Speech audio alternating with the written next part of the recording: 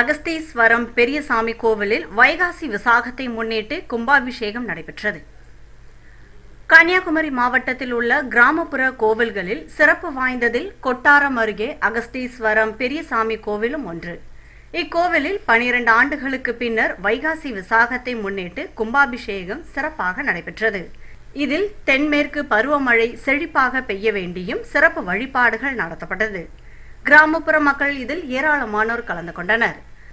கும்பாபிஷேக விழாவை முன்னிட்டு நடைபெற்ற பூஜையில் ஹெச் வசந்தகுமார் தங்கள் குடும்பத்தினருடன் கலந்து கொண்டு சிறப்பித்தார். இதில் அவரது மூத்த சகோதரர் இலக்கிய செல்வர் குமரி ஆனந்தன் அவரது புதல்வர்கள் விஜய் வசந்த் வினோத் மற்றும் அவர் குடும்பத்தினர் பலர் கலந்து கொண்டனர்.